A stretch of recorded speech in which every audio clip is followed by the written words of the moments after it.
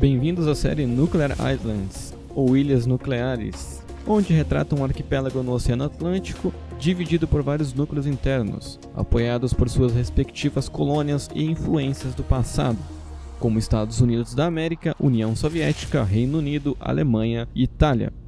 Porém, agora estão iniciando uma perigosa corrida nuclear, juntamente com porta-aviões, destroyers, caças avançados e tecnologia de ponta. O mundo não fala, porém isso está a um passo de uma perigosa guerra, onde não há vencedores. Brasil e Argentina, superando a crise, chegaram chutando a porta e ingressaram no clubinho da luta, apoiando a ex-colônia portuguesa Nova Açores.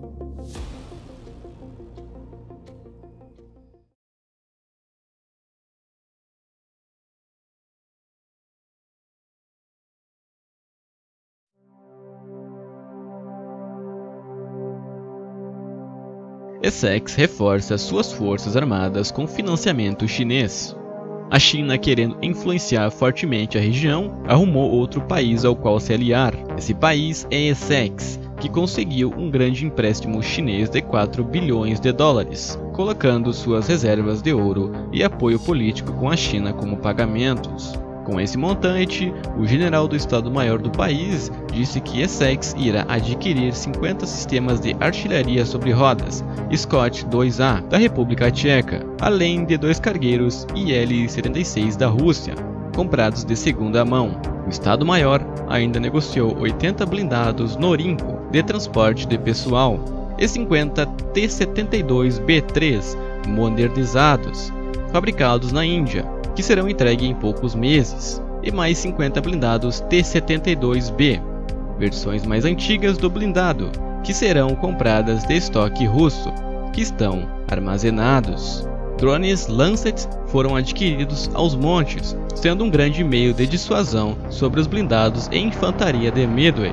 O país também está negociando caças Su-27 com a Rússia, mas as negociações esfriaram, segundo algumas fontes, muito por conta do custo de operação. O principal foco do Estado-Maior de Essex, nesse momento, é o caça-bombardeiro Su-24M, que são baratos de adquirir e operar, além de muito versáteis, e por isso muito requisitado por Essex.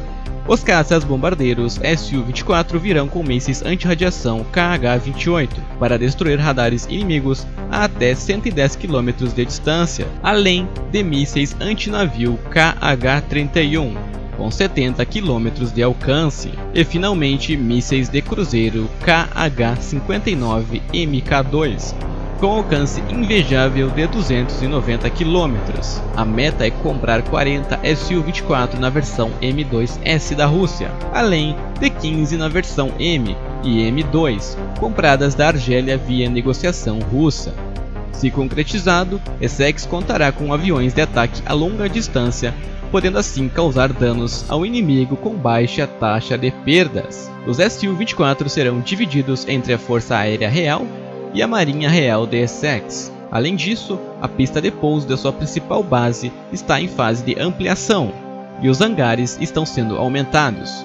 Suspeita-se que o país comprará bombardeiros estratégicos até o final do ano. Para mais notícias, não deixe de seguir esse canal. Fiquem com Deus!